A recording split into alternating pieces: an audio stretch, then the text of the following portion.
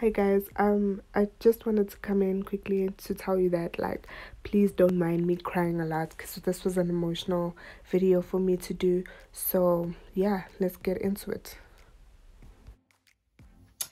Hi guys, welcome back to my channel. If it is your first time joining, welcome to the channel. My name is Charlotte Dale and on this channel we get tipsy. Okay, so before we get into the video grab a glass darling because this one is a deep one okay? It's about to get lit and when it gets lit you want to grab your glass and keep cool because darling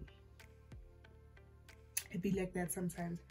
Okay so before i get into the video i want to tell you guys to not forget to subscribe to my channel okay i'm guessing i'm hoping at this point we have reached a hundred subscribers. So i put some onwards go. Don't forget to subscribe. Don't forget to like the video. Don't forget to leave a comment if you like this this video because it's quite a difficult one for me to sit down and and talk about this what i'm going to talk about today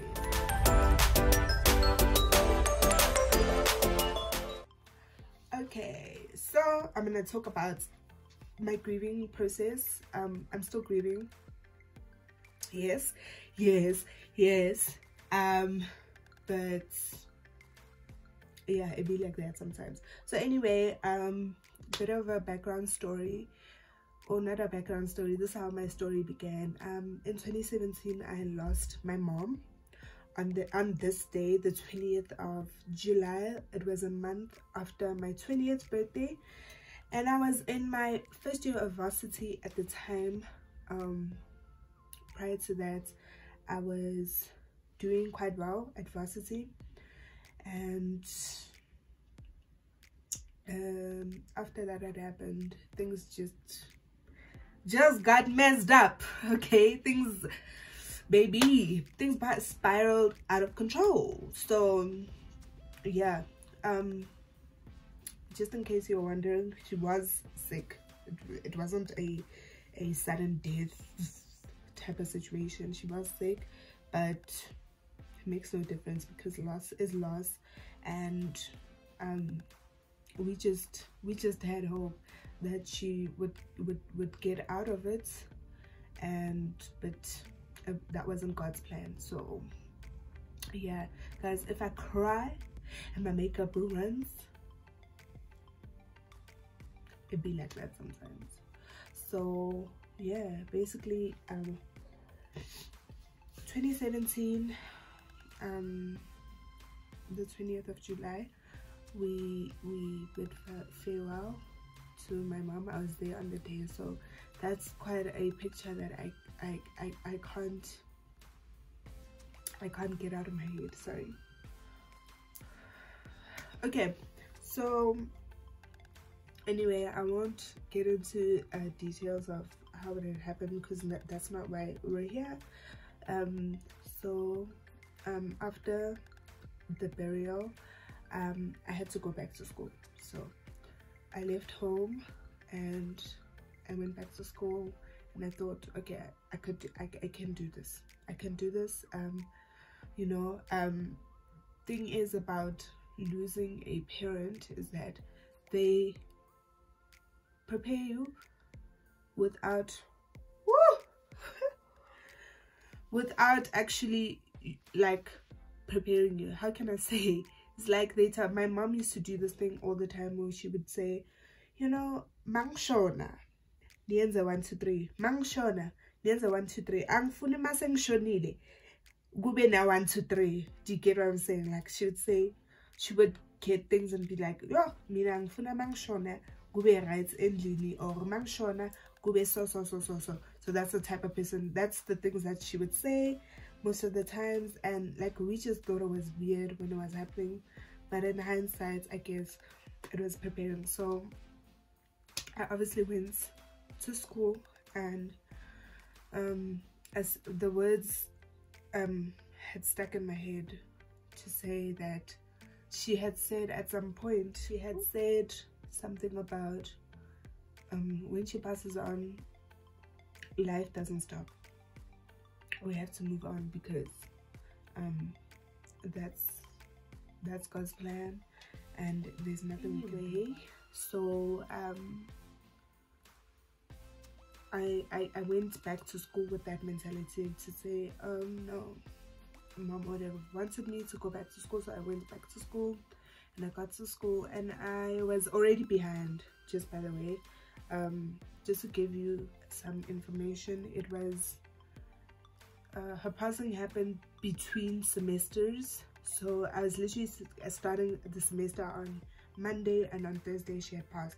So um i had to wait that week and the week after that. Then the week after that two weeks after that i went back to school. So i'd already missed three weeks of school which is a long long time. But anyway um so i went back. I had to catch up.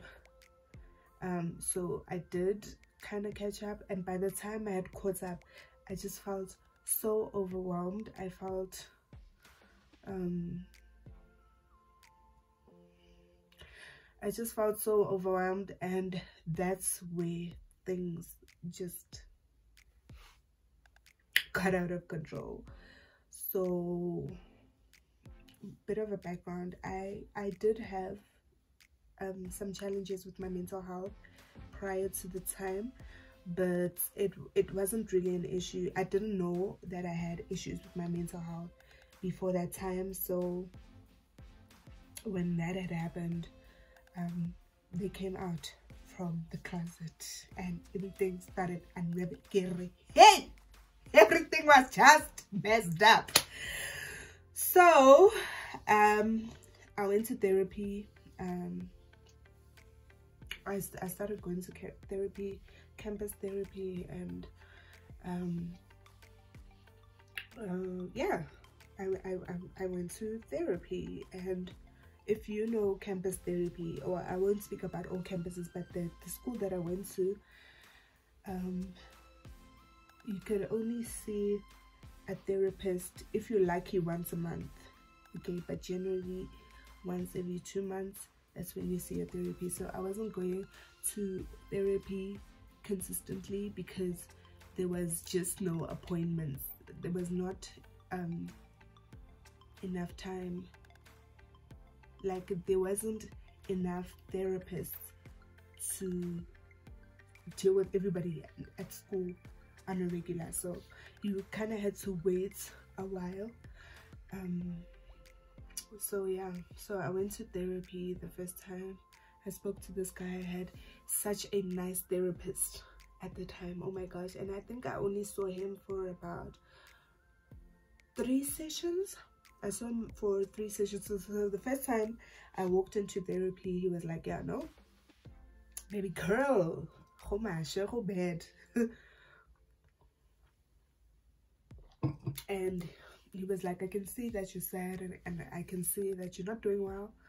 Um so he gave me tips and tricks on how if i feel overwhelmed what i should do and stuff. Okay so um one of the things that also made it difficult for me to kind of oh sorry readjust back into school is that i'd gotten so accustomed the six months prior i've gotten so accustomed to I, I used to speak to my mom about everything. I used to call her every day or she used to call me every day and um we would talk on the phone.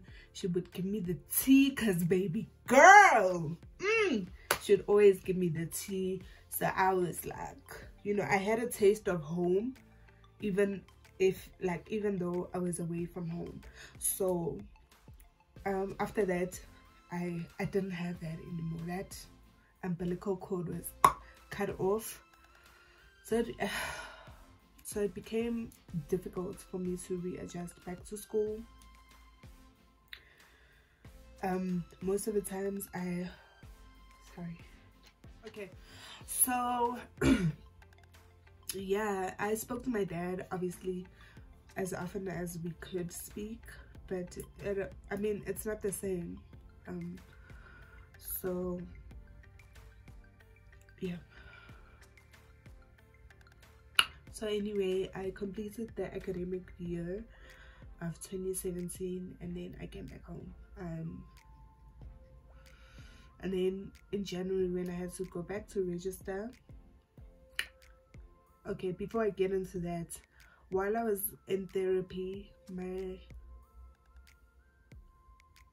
my last therapy with my first therapist can I put it like that? Um he was like I can see okay you have a problem I had a problem with sleeping I had very bad insomnia. I had a problem with just like I would have anxiety attacks all the time. Um as a result of my insomnia and my anxiety I wouldn't go to school because obviously if I don't sleep at night I would have to sleep during the day. Um so he put me on sleeping pills and anti-anxiety meds and those are like like so difficult to get because when I ran out and I was with my next therapist she was like you don't need those. You fine. You just you you okay sis and I was not okay. Okay. So obviously told my doctor that I was on these pills and she's like nope. Sis you gotta get a letter of recommendation from your therapist to get those I'll write you so it was just a, a, a process anyway so um I ended up just getting sleeping meds because those you can get over the counter um yeah so January of 2018 I went back to school. And my academic advisor was like, sis, your results from last year went from A's, B's to questionable results. So, what's going on? So I told her, no, I went through some tragic type of situation, but I'm back now. And she was like, okay, cool, you're back. Let's register you and we'll see if you feel like you can't cope come back to me so i was like no worries so i played myself i obviously played myself so she registered me and i was feeling like optimistic for the year. So i was like yes yes yes. Dim low we move. Uh-huh. So i registered. I got ready for school and I started attending February. I, I could say almost perfect attendance. I much things spiraled out of control. And I just that was the peak of that was when you know when um in a cartoon uh, a character would like jump off a cliff and then they look down right? And then they look up. That was ha what happened in march. Then i plummeted down and um it was uh depression it was anxiety together. How guys? How hey! Who know who ni wa hey! So obviously went back to therapy.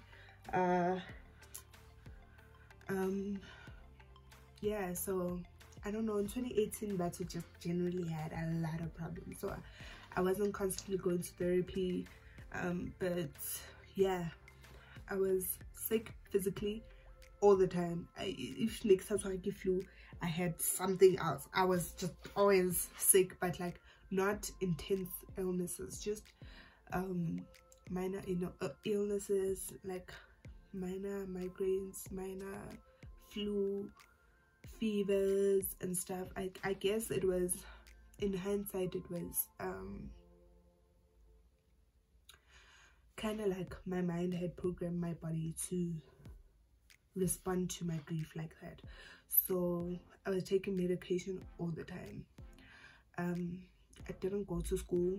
At some point i stopped going to school because i just felt overwhelmed. I couldn't wake up. I had no motivation. I i was I had no will to live. Let me just say that. I was not suicidal. Okay. I was not suicidal. I just had no will to live. I was like, I because at this point and I was sitting there in Bloemfontein and I was like, what am I gonna do now? Like or am I just like I'm done with this life thing.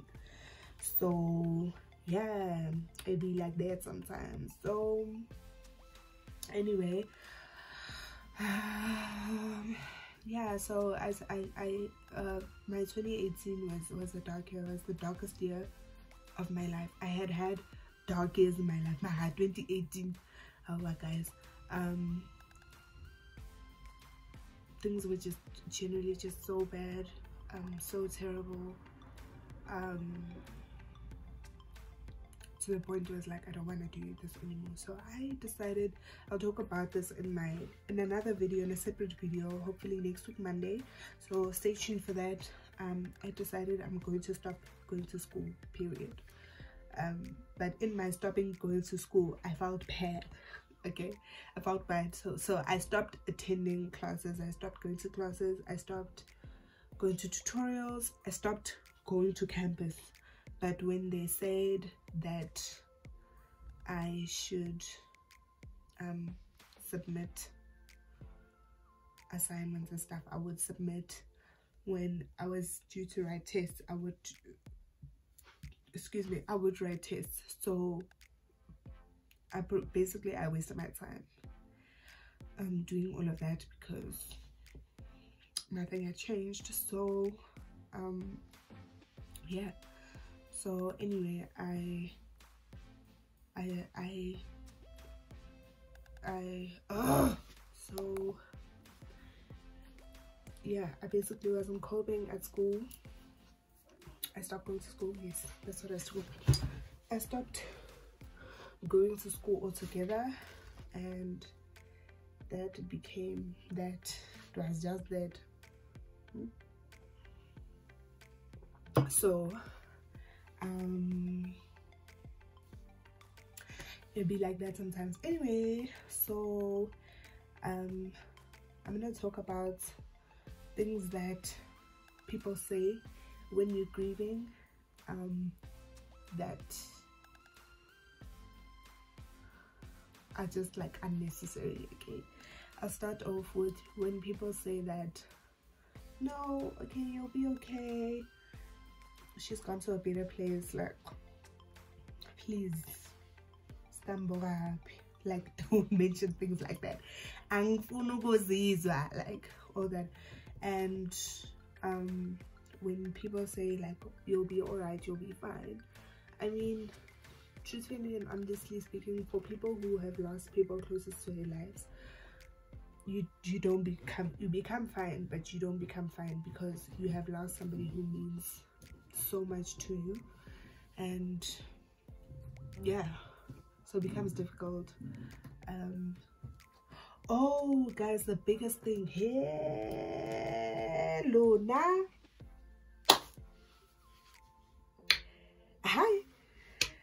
then on top of uh, grieving i had to deal with people who were yeah,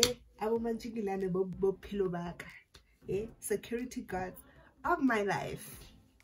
Let me tell you people who were studying my life from a to z go register for people who were looking at my life. And people who were who would talk about malicious things um, and such. So, libo shame. Shame ke sono. Iyo mangihlanyisa kabi kokugcina ke lapho. Guys, like, hey guys, you have to deal with a lot of things, especially when you lose a mom. Hi go guys, it goes from people stealing your stuff at home. People steal your stuff ba-utswa like batho ba matsogo like ka any lefu hoko o ke mang ga e le ka lefu you best believe that, that some of your things are gonna go missing um then you have people study your life so they will actually bowl mm. okay always also oh okay mm. okay mm.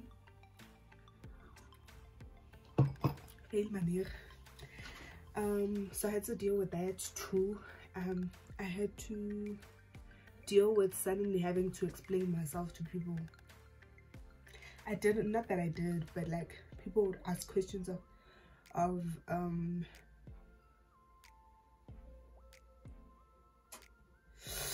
oh the comments that i got too. Mm, guys the comments i got people would be like oh okay lala ungamithi ke because uyazi ukuthi mama yakho bengangafuni meet what if my mom wanted me to meet her i mean she didn't but that's not the point okay yena wazilaphi um oh eh, eh. Hmm. kuhamba kanjani esikoleni hayi okay ungaphoxa umama yakho ke usikaphoxa mme wa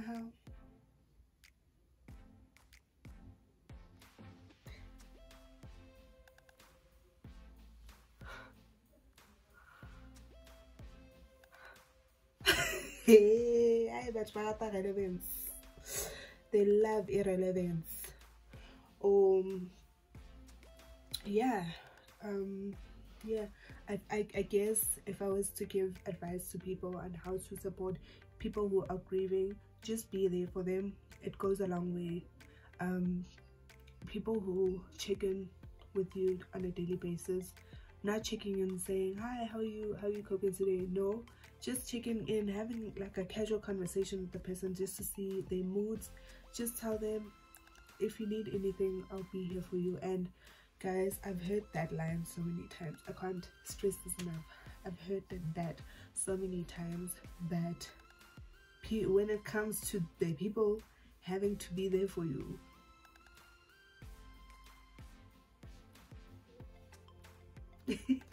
so that's also just a thing. So yeah um what else?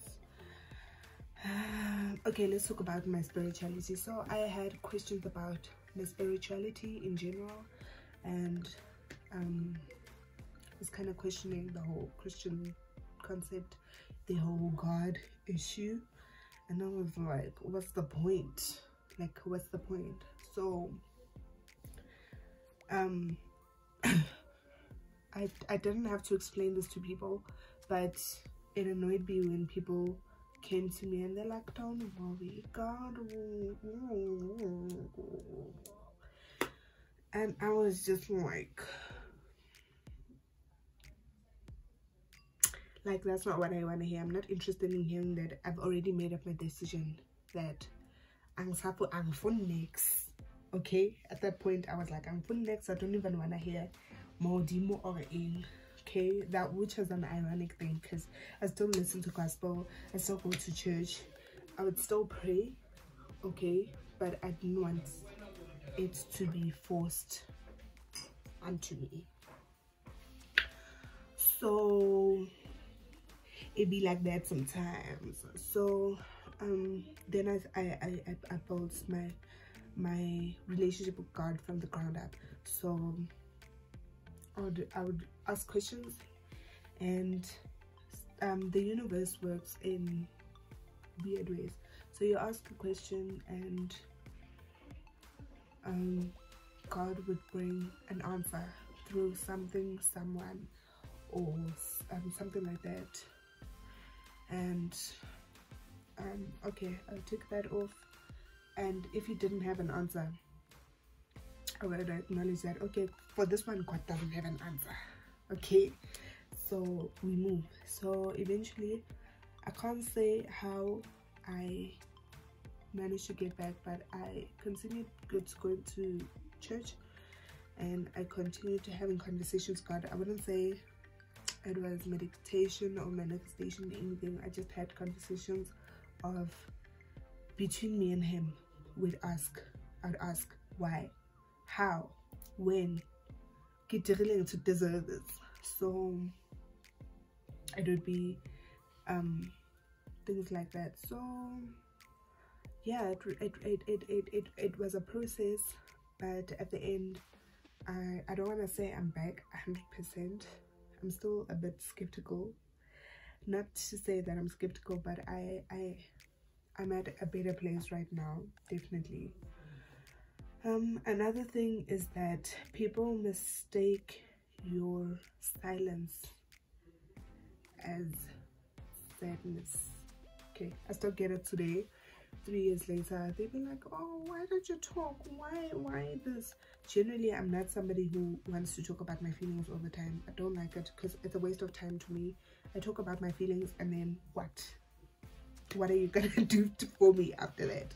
So a lot of i got a lot of comments saying that i'm very cryptic. I'm very hard to decipher.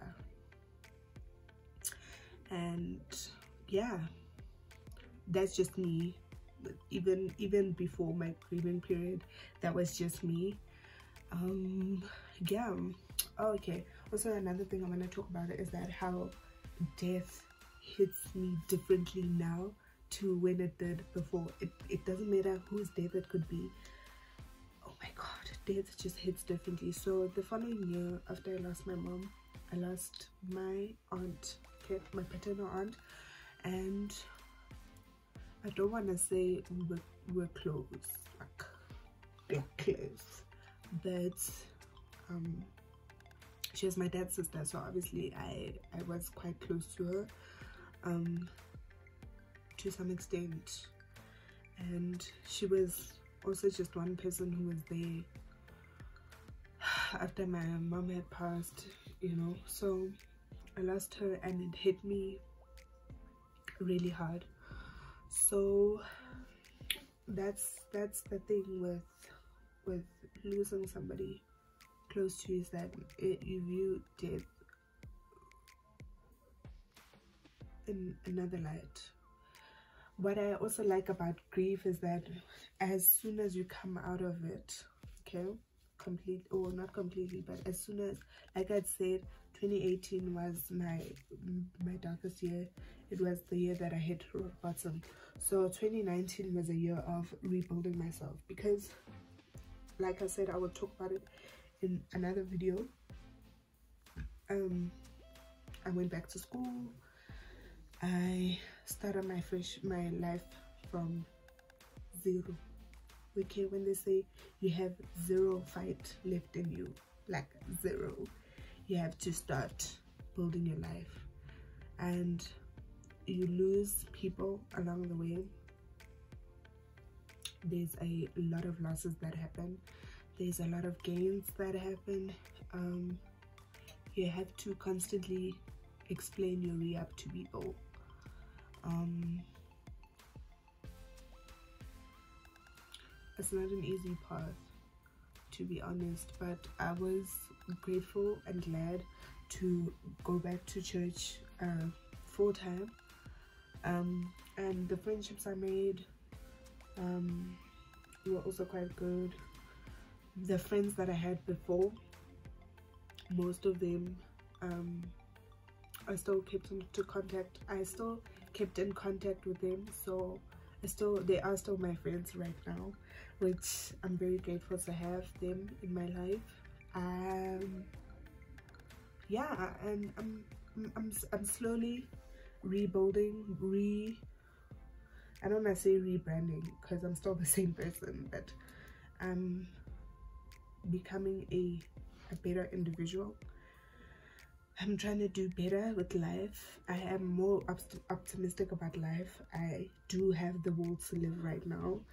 Um, I stopped going to therapy in 2018 um, but now I'm, I'm, I'm much better. I'm much better. I know how to deal with my emotions in, in general and I know how to deal with people. Okay I have a backbone now so that's my grief story. I, I know it's a bit all over the place because I had to leave the room.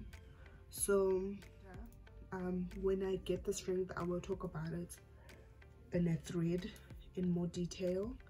And yeah guys I just wanted to close off this video by sharing a few of my mom's pictures and videos. Um it's i mean to commemorate it's been three years since she left the chat but um she still lives on in our lives and she's watching from the sidelines and she's cheering us on. She's there in spirit always so to say that i miss her is an understatement but i really do and life without a mom kind of sucks but whew, guys we move. So guys thank you so much for tuning in. Let me go cry in the background and watch the, the video till the end to see her pictures. Um don't forget to subscribe and comment and leave uh like the video as well. Don't forget to share the video on your social media platforms and i will see you guys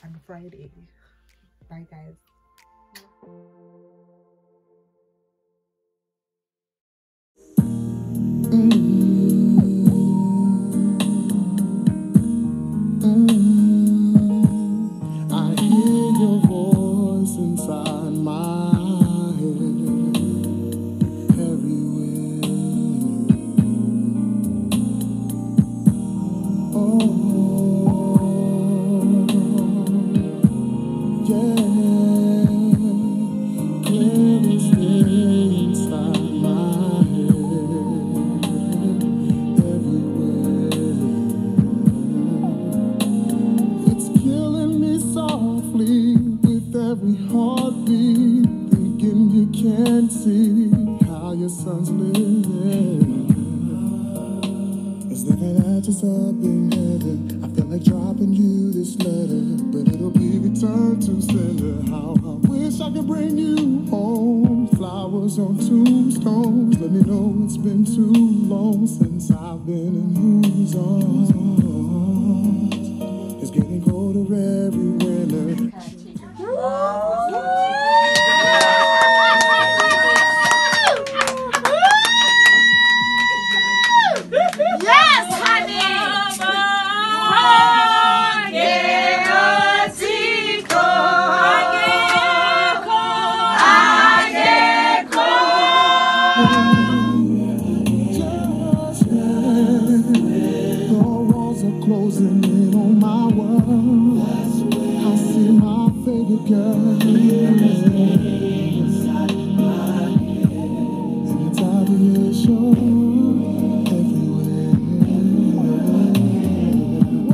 you saying, just keep on praying.